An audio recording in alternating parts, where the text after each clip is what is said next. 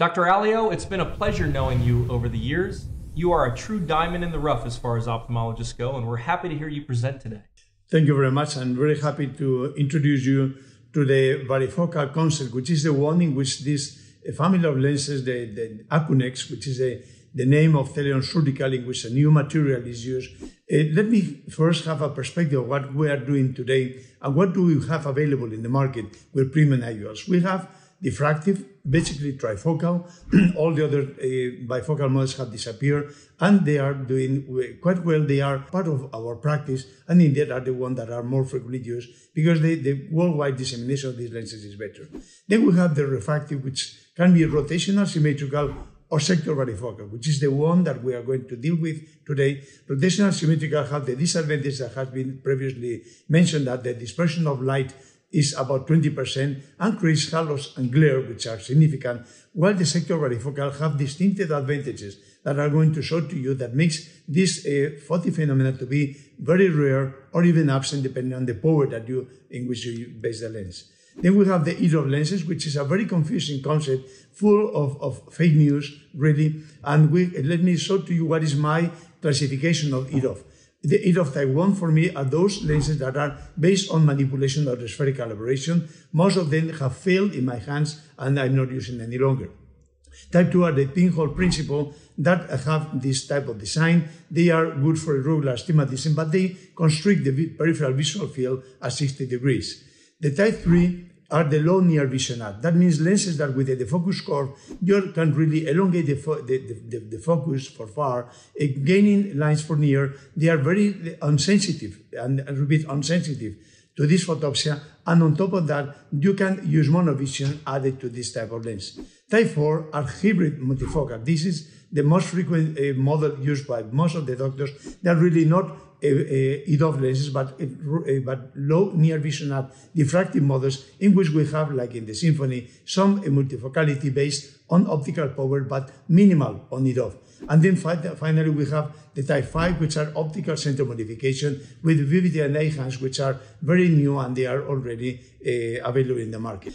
Diffractive technologies, I, I, have to mention them again because they have uh, distinctive disadvantages as loss of light, with less contrast sensitivity. The average loss is about 12 to 17%, depending on the models. They, they cause a permanent overlapping of images, which creates the, the, the halos and the glare, which is one consequence in which you have to, to really believe that you will find in every one type of, of diffractive lenses. and as a consequence, you have a loss of image quality, which is enhanced by the diffraction and pupillary margin. So these are the main pitfalls of diffractive technologies. On the contrary, varifocal technologies, you have a very important issue. You have most of the lens to be monofocal because only one third of the lens is focusing for near, and this sector is the only one in which the light is, is uh, used for this purpose.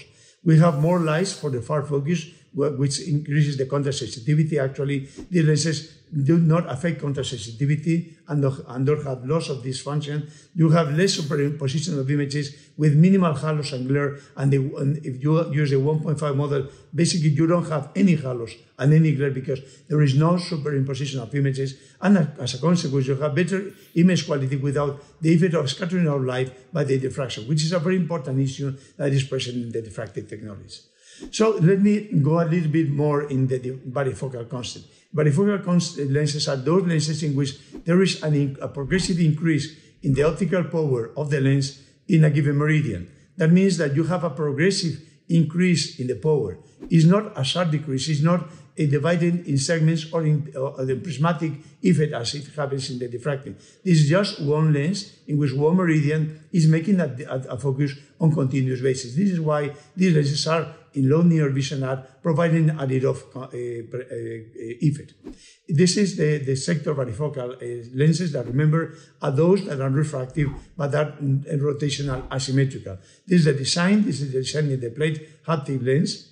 You have been listening to previous presentation with this plate haptic or now with a C-loop, uh, with a new Teleon and the new material that has been manufacturing uh, by, by Teleon company with this optics, you have definitely a lot of advantages because, especially in the low near vision arc, you have zero halos, zero glare, and you have a need of uh, uh, principle. You have far vision, which is about 60% of the lens, and near vision, which is about 30% of the lens. You see how the transition of the light in the optical system of the eye is going from one a focus for far to near in a, in a progressive way, in a way that you don't have any, any break in the, in the, in the, in the, in the focusing capabilities of the optical system of the eye. And this is how varifocality works. It's indeed a very neat uh, uh, concept. Uh, now, let me explain to you why I choose a varifocal lens and which are the, my, my, my, my principles to choose a lens. I ask and I demand to my lenses, the, the ones that I select for my patients, to have optical performance optimal. They should have an excellent optical performance, both in the optical bench and, of course, inside the eye. Remember that the eye is an off-center system and diffractive technologies are sensitive to decentration. These lenses are very little sensitive to the decentration because of this uh, concept. Sensitivity should be left untouched because the main reason for explantation is bad quality of vision. This doesn't happen with this varifocal technology because they leave the contrast sensitivity untouched. I want them to be stable inside the capsular bag.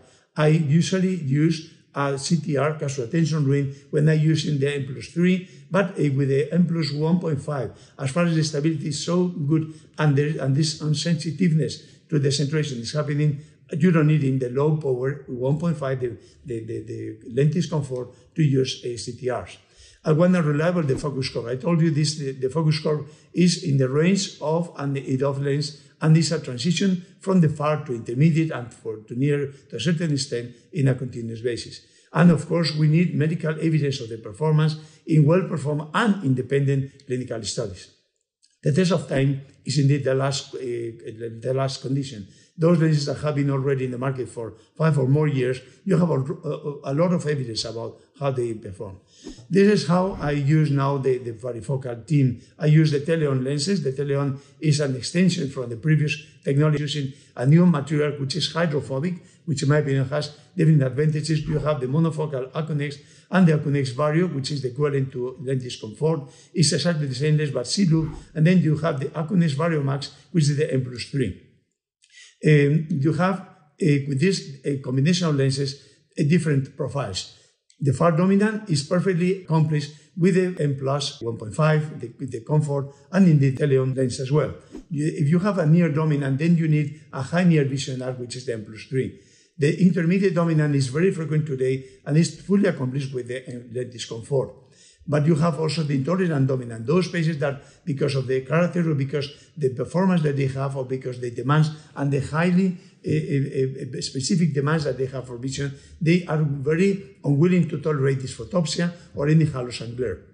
You cover this indeed with the M plus 1.5, the lentis comfort with the, uh, with the concept of the varifocality. In the video, we have published about 12 to 15 papers on this topic in which we have covered all the different aspects from the implantation of the 1.4 to the, the, the plus 3. And uh, recently in the Journal Refractive Surgery, we have published the combination of blended vision with the 1.5 with the dominant and the plus 3 in the non-dominant with a tremendous success that is really remarkable. You have all this information and more in this second edition of my book on multifocal intraocular lens data and the practice and we display all these concepts in extension in this uh, book that we are invited to use. And this is a new factory from Teleon in which the Acunex and the Acunex Vario and the Acunex Vario Max are now manufactured with this high index of refraction uh, hydrophobic material, which is indeed, in my opinion, a tremendous step forward in this technology. And I thank you very much for your very kind attention. Of course, Dr. Alio joins us from the Vissum Institute, which certainly does sparkle diamond like. You know, what a great place, and thanks for joining us, Dr. Alio.